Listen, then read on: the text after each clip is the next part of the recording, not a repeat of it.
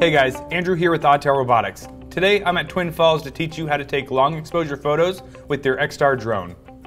Long exposure photography is a technique used to capture stationary elements while blurring or smearing any moving elements. Creating these images can give your photos a very unique look, and the X-Star camera allows us to slow the shutter speed to 8 seconds.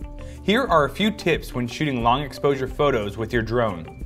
If you're capturing photos in a low light environment, it's a good idea to turn off the front LED lights to avoid unwanted light from entering the photos. Tap on the settings icon and scroll down the flight control settings menu to the advanced settings. Then turn off the front LED light. Be aware of your surroundings and know your landing approach in low light environments. And fly in low wind conditions. For this shoot, we are going to use a Tiffen ND16 filter to help maintain our exposure. This will allow us to slow down the shutter speed without overexposing the images. Let's flip over to the manual camera settings. For this location and the time of day, we can drop our ISO to 100. Now, let's slow down the shutter.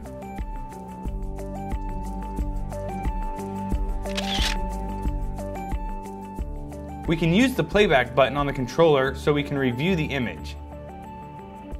You can now see we are getting the rocks and landscape in focus and the water has a motion blur. With a little more adjusting, we can achieve our desired effect.